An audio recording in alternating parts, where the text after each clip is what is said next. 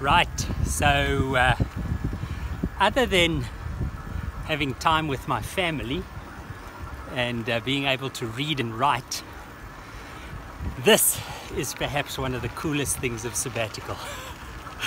being able to uh,